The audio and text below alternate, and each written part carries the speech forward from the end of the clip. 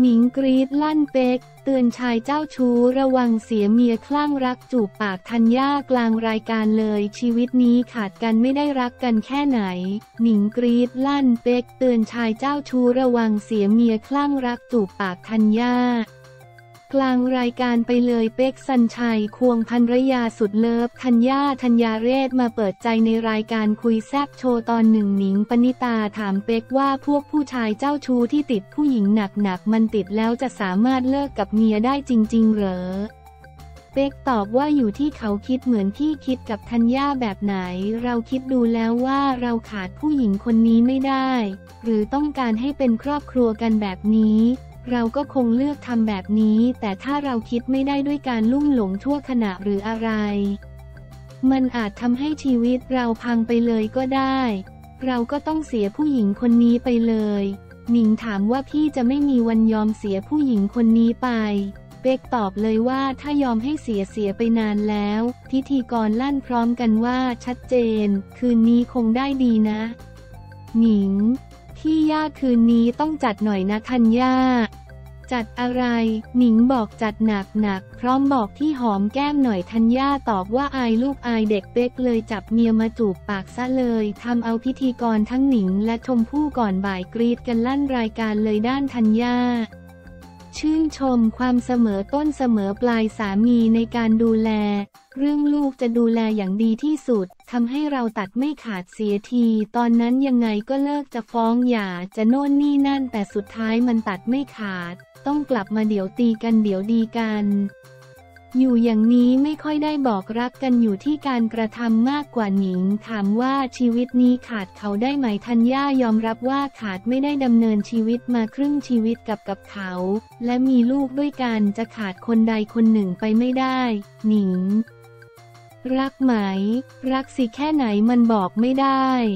มันเป็นความผูกพันเป็นพ่อของลูกต่อจะให้ตีกันยังไงสุดท้ายก็ช่างมันเถอะหนิงถามเป๊กบ้างรักขนาดไหนเป๊กยิ้มตอบว่าขนาดไหนคงบอกไม่ได้แม่ของลูกนะคลั่งรักขนาดลงไอจีไม่เห็นเหรอหนิงปรบมือลั่นถูกใจใช่เลย เป๊กบอกสงสัยจะไปทำอะไรผิดไม่ได้แล้วว่ะ ออกรายการนี้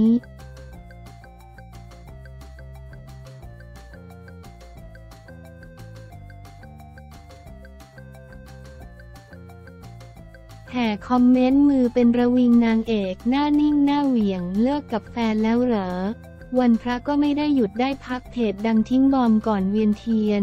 แห่คอมเมนต์มือเป็นระวิงนางเอกหน้านิ่งหน้าเหวี่ยงเลิกกับแฟนแล้วเหรอ ทิ้งบอมวันหยุดให้ต่อมเผือกได้ทำงานข้ามวันอีกเพจเจ๊มอย 108 ออกมาโพสต์วันมาคบูชาถึงประเด็นนางเอกว่า วันนี้ วันมาคบูชานางเอกหน้านิ่งเขาเลิกกับแฟนหรือยังกูไม่รู้แต่วันนี้จะไปเวียนเทียนไหว้พระสวดมนต์พร้อมทั้งคอมเมนต์ใต้โพสต์อีกด้วยว่า กูใช้คำผิดราอะหน้าเหวี่ยงก็ได้ทำเอาชาวเผือกทำงานกันหนักคอมเมนต์แห่ถามชี้เป้ากันมือเป็นระวิง อาทิมอรอหรือ มุมชน เขาใหญ่ไหมคะ นึกออกคนเดียวที่ไม่อยากล้างจาน อดกับคอหรอ ถ้าใช่คนที่คิดชาวเน็ตจำนวนไม่น้อยต้องไปขอขมาแม่อ้ำนะ search Google เจอเลยจ้า ถ้าหน้านิ่งหน้าเหวี่ยงคือนึกออกอยู่สองคน แต่อีกคนเขาไม่มีเฟนนี่งั้นคงอีกคนแน่ ๆ เป็นต้น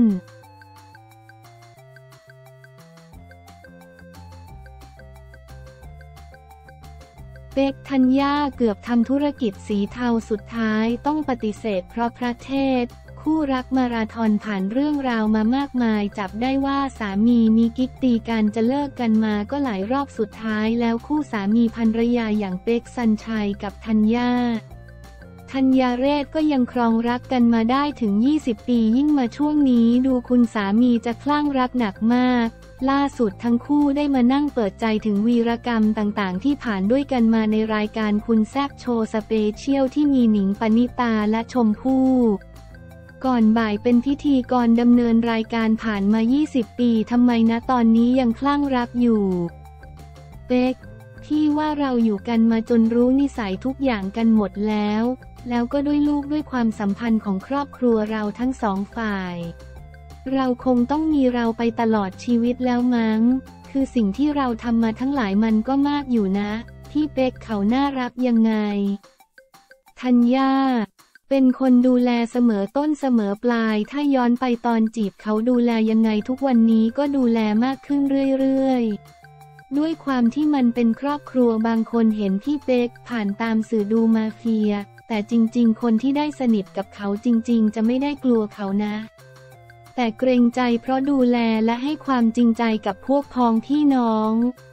ธัญญาเป็นคนที่ให้ความสำคัญงานแต่งงานศพงานวันเกิดแล้วมาสอนเราด้วย ต้องไปงานวันเกิดต้องอยู่ให้จบงานศพต้องไปงานแต่งต้องไปคือเป็นคนใส่ใจคนรอบข้างแล้ว ฉายาที่คนบอกว่ามาเฟียมาจากไหน เป๊กอาจจะเป็นวัยรุ่นแล้วเรามีเรื่องต่อยตีพักพวกเยอะ มันก็เลยดูเป็นสไตล์แบบนั้นไป ถึงขั้นมีการโดนยิง ทองหล่ออีกแล้วแล้วก็ออกจากทองหล่อมา มีน้องออกไปก่อนคนหนึ่งแล้ว เขาไปมีเรื่องกับมอเตอร์ไซค์บังเอิญที่นั่งรถตู้ตามไปกำลังจะกลับบ้าน เจอเขามีเรื่องลงไปยังไม่มันพูดอะไรมันก็ยิงเลย ยิงโดนตรงไหน เป๊กของที่โดนเข่าสองข้างแล้วโดนหัวแม่เท้า ทั้งหมดสามนัด แล้วคนรถที่โดนสี่น้องที่โดนสามที่ล้มลงไปแล้วเขามาจ่อหัว แต่เขาไม่ได้ยิงนะ เขาวิ่งไปพอคบกันแล้วแล้วเจอเหตุการณ์ที่มันหนักๆแบบนี้ ทัญญา เป็นอะไรที่เราไม่ชอบเลย เป็นคนไม่ชอบคนมีเรื่องมีราวไม่ชอบคนใจร้อนทุกอย่างที่เป็นเขาคือเราไม่ชอบเลย แล้วบวกกับที่เราคบกันใหม่ๆ เขาทำริวพาวินเลี่ยนแล้วเขาจะไปเกือบทุกวันเราก็จะกลับก่อนบ้าง แล้ววันนั้นเกิดเรื่องเป๊ก เป็นโรงเบียร์ใหญ่ๆ นั่งกินกับเพื่อนๆ อายุตอนนั้น 20 ปลายปลายๆโรงเบียร์มันก็มืดมืดๆเราก็มองแทบจะไม่เห็นหันไปโต๊ะข้างๆ มันมีวัยรุ่นใส่แว่นดำเอ๊ะ มึงใส่ทำไมกูจะมองไม่เห็นพื้นอยู่แล้วก็เลยเดินไปตบมัน เสร็จแล้วมันไปเอาพวกมา 30-40 คนได้มันก็กลับมาเอาเราคืนนั่นแหละ แต่บังเอิญลูกน้องเราที่เป็นคนเสิร์ฟ เดินออกมาทั้งหมดก็เป็น 100 อยู่นะ พี่ก็วิ่งออกไปใส่กันเละเทะมีดอกหนึ่งที่หลบแล้วมันวืดล้มไป แต่ระหว่างล้มมันมีเสียงปืนขึ้นมาคอยอก็คิดว่าพี่โดนยิง เปล่าล้มเอง ใครจะไปรู้ว่าวันดีคืนดีพี่ธัญญาก็กลายร่างได้เหมือนกัน อย่างนี้โอเคอยู่แต่ถ้าเกิดได้ลองสักสองถึงสามแก้วจริงเหรอ เป๊ก พอเล่าเข้าปากปุ๊บ ถ้าธัญญาเมาพี่ไม่เมาพี่แยกเลย มีเรื่องหนึ่งบ่อยครั้งมาก แต่งงานกันใหม่ๆ นี่จะนอนเอ๊ะ เสียงอะไรอยู่ปลายเตียง ฉี่ธัญญาฉี่ปลายเตียงเป็นสิบสิบครั้งเท่าที่จำได้ตั้งแต่แต่งงานกันมา ธัญญา ต้องเล่าก่อนมันมีที่มาที่ไป เพราะพี่ละเมอตั้งแต่เด็กชอบฉี่ใส่ถังขยะชอบไปฉี่ตรงนั้น ตรงนี้ละเมอไงเป็นคนแบบนี้ แล้วพอเราสติไม่ค่อยมีเวลาเมาก็ชอบไปฉี่อะไรอย่างนี้ อย่าบอกว่าพี่เป๊กเช็ด เป๊กต้องเป็นที่เบื้องต้นพี่ก็หิ้วเขามานอนแล้วก็เช็ดฉี่ธัญญาจะไม่มีใครรู้โหมดนี้สักเท่าไหร่ ด้วยความที่เราภาพสมัยก่อนก็จะเป็นนางเอกเรียบร้อย เราเป็นคนไม่เที่ยวไม่อะไรเลย จนมีอยู่ครั้งหนึ่งอายุ 26 เพื่อนชวนกันไปข้าวสารเห็นเขาดื่มไปตอนแรกง่วงนอนดื่มก็ดื่ม ดื่มเสร็จเมาเมาเสร็จทำไมมันสนุกจังเลยแล้วก็แปลงร่าง หลังจากวันนั้นวีคหนึ่งไปเที่ยวทุกวัน เมาทุกวันแล้วกลายเป็นคนละคนไปเลย แต่ว่าพอต้องทำงานก็จะมีความรับผิดชอบโอเคไม่เมา แต่ตอนนี้ไม่แล้วธัญญาลูกคะลูกเคยเห็นเราเมาเขาไม่ชอบ ก็จะโดนโกรธโดนดุอะไรอย่างนี้นี่ก็จะชอบว่าเหมือนคุมลูกไม่ได้ให้ลูกคุม ที่เป๊กคอยระวังลูกสามขวบห้ามเล่นกับเพื่อนผู้ชาย เป๊ก ด้วยความเป็นเรามาก่อนมั้งดูอะไรต่ออะไรมาตั้งแต่เด็กเรื่องผู้หญิง แล้วในโซเชียลก็เห็นอะไรเยอะว่าอันตรายที่มันจะเกิดขึ้นกับใครก็ได้มันเยอะแค่ไหน เราเลยชอบจินตนาการไปก่อน เดี๋ยวลูกเราจะเป็นอย่างนั้นหรือเปล่า มันก็เลยทำแบบห้ามเขาทุกอย่างทันยาเหมือนเขาเริ่มวัยรุ่นจะ 14 แล้ว เขาคิดว่าตัวเองโตแล้วอยากจะทำอะไรด้วยตัวเอง เพื่อนจะนั่งมอเตอร์ไซค์ไปเทอร์มินอลหลังเลิกเรียน เขาจะมีเพื่อนที่นั่งมอเตอร์ไซค์นั่งรถไฟฟ้ากลับ เขารู้สึกว่าทำไมเขาทำแบบนั้นไม่ได้ แล้วเขาก็รู้สึกว่านอกคอกเพราะเพื่อนทำได้เขาทำไม่ได้ แล้วเพื่อนนัดกันหลังเลิกเรียน ตัวเองไม่ได้ไป เราจะไปส่งไม่เอาไม่เหมือนเพื่อน เป๊ก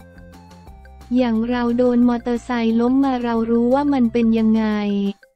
เราก็คิดจินตนาการว่าลูกต้องอย่างนู้นอย่างนี้ คือยอมให้ลูกโกรธดีกว่ามันอาจจะเกิดอะไรขึ้นที่เราต้องเสียใจมากกว่านั้น เขาไม่เข้าใจหรอก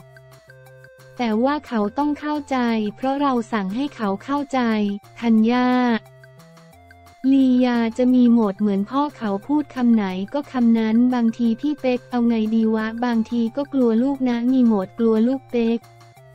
เขาเป็นคนติดลียาโกรธง่ายเหมือนพี่แหละ พอเขาโกรธมาก็ต้องงอกลัวว่าเขาจะคิดอย่างนู้นอย่างนี้เราก็กลัวเรื่องพวกนี้เหมือนกัน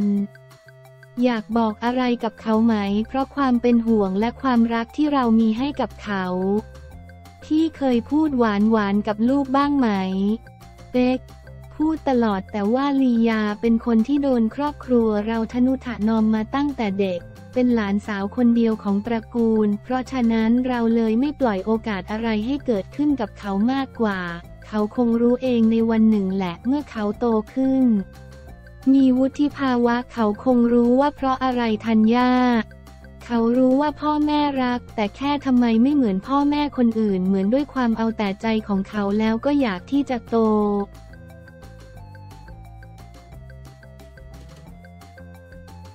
ที่เป็กบวชนานมากๆแล้ว หลายคนก็พูดกันไปต่างๆ นานาบวชจะไม่สึกบ้าง แต่จริง ๆ ที่เป็กดวงถึงคาดก็เลยต้องบวช เป็ก ที่เป็นคนบวชทุกๆ 5 ปีอยู่แล้ว แต่ครั้งที่ผ่านมาทำไมต้องบวชนานๆ พอดีเมื่อปีที่ผ่านมามันเป็นปีขาน แล้วพี่ก็เกิดปีขานมันชงอย่างรุนแรง แต่บางคนก็ดีนะ บางคนก็ดวงถึงคาดอะไรแบบนี้ธัญญาเคยมีอะไรแบบนี้เกิดขึ้นตอนอายุ 39 ทีหนึ่งแล้วก็บวชผ่านมาอันนี้ก็จะเข้า 49 ก็โดนทักอีก การบวชครั้งนี้เราได้ธรรมะมาใช้ในชีวิตอะไรบ้าง เป๊กการคบคนกับความไม่แน่นอนของคนที่ไม่รู้ว่าวันนี้เรายังนั่งคุยกันแบบนี้ แล้วพรุ่งนี้เราจะเป็นยังไงเลยคิดได้ว่าเราจะทำอะไรเราต้องคิดมากขึ้นเนี่ย ถึงได้คลั่งรักเนี่ย ก่อนที่จะบวชเกือบจะก้าวขาไปทำธุรกิจอารมณ์สีเทา เป๊ก เกือบจะทำอยู่แล้วแต่พอบวชไปสักสองถึงสามอาทิตย์ คือตอนนั้นเราตัดสินใจอยู่พูดตรงๆนะ ผลที่เขามาเสนอมันอื้อหือถึงเราพอมีเงินอยู่แล้ว แต่มันก็น่าสนใจวะ แต่พอบวชไปแล้วอาทิตย์หนึ่ง หลวงพ่อท่านพูดตอนเทศทุกวันมีอยู่ครั้งหนึ่งท่านเทศเรื่องนี้บอกว่ากรรมมันจะไปตกอยู่กับลูก กับหลานคนที่เขาเล่นพนันเสียไปเล่นบอลเสียไปทำให้เขากลับไปที่บ้านแล้วไม่มีเงินเลี้ยงลูก ต้องฆ่าตัวตาย พอเราได้ยินอีกวันโทรบอกธัญญาไม่เอาแล้วนะ เรื่องพวกนี้ธัญญา จริง ๆ คนชวนพี่เป๊กนานแล้ว แต่ว่าพี่เป๊กไม่ยุ่ง แต่จะพูดตลอดว่าเงินมันเยอะนะอย่าเลย เดี๋ยวพ่อด่า ถ้าพ่อรู้นี่ตายแน่ๆธุรกิจสีเทา เราจะคุยกันตลอดว่าอย่าอย่ามันก็มีกิเลสนะหมายถึงว่าตัวเขาก็มีกิเลสพอพูดมาเรามีกิเลสมันก็เยอะดีนะ แต่อย่าเลย เพราะเรานึกถึงผลที่จะตามมา วันนี้พี่ภูมิใจในสามีคนนี้ขนาดไหนธัญญา เราเป็นคู่ที่ไม่เคยพูดจาหวานกันตั้งแต่แรก เพราะครั้งแรกก็ด่าแล้ว เพราะฉะนั้นเขาจะเป็นคนแบบเฮ้ยไงวะ เป็นคนพูดจาห้วนห้วน เพราะฉะนั้นอะไรที่มันหวานหวานมันเลยไม่มีให้กันเวลาหมดซึ้งซึ้งมันกลายเป็นตลก เป๊ก สมันก่อนเราไม่รู้ด้วยนะ เอ๊ะ อารมณ์ร่วมกับเรามันจริงหรือเปล่า เพราะเขานักอแสดงใช่ไหม เคยเห็นเขารายการหนึ่งในสมัยเขาเด็กๆ มานั่งแข่งร้องไห้กันนี่ 12 วินาทีน้ำตาไหลพอทะเลาะกับเราแล้วนั่งร้องไห้ นี่มึงร้องไห้จริงปะเนี่ยถอดรองเท้าเคลี้ยงหัวพี่เลย คือเราไม่รู้ว่าเขาอารมณ์ไหนธัญญาพูดตลอดเป็นคนเสมอต้นเสมอปลายในเรื่องของการดูแลทุกอย่าง แล้วเรื่องลูกก็ดูแลอย่างดีที่สุด มันมีช็อตที่เราหนีไปอเมริกาตอนนั้นคิดนะ จะต้องไม่มีเงินใช้แน่เลย ต้องไปทำงานที่อเมริกาแน่เลย คนอาจจะบอกก็ใช่สิก็มีเงินต่อให้คุณมีเงิน แต่ถ้ามันไม่อยู่ในความรับผิดชอบมันก็ไม่มี มันก็เลยทำให้เราเหมือนตัดไม่ขาดสักที ตอนนั้นยังไงก็เลิกจะฟ้องหย่านู้นนั่นนี่ แต่สุดท้ายมันก็ตัดไม่ขาดกลับมาเดี๋ยวก็ดีกัน เดี๋ยวก็ตีกันอยู่อย่างนี้ ชีวิตนี้ขาดเขาได้ไหมธัญญาขาดไม่ได้ เพราะว่ามันดำเนินชีวิตมาครึ่งชีวิตโดยมีเขา แล้วเรามีลูกด้วยกัน เพราะฉะนั้นการที่จะขาดคนหนึ่งคนใดไปมันไม่ได้ รักไหมธัญญารักสิแต่ถามว่ารักแค่ไหนมันบอกไม่ได้ มันเป็นความผูกพันเป็นพ่อของลูกต่อจะให้ตีกันยังไงสุดท้ายมันก็ช่างมันเถอะเป๊กถามว่ารักขนาดไหนคงบอกไม่ได้แม่ของลูกนะคลั่งรักขนาดลงไอจีแบบนั้นไม่เห็นเหรอ หลังจากออกรายการนี้สงสัยไปทำอะไรผิดไม่ได้แล้ว ติดตามชมรายการคุยแซบโชว์ทุกวันจันทร์วันศุกร์เวลา 13.15ถึง14.15 น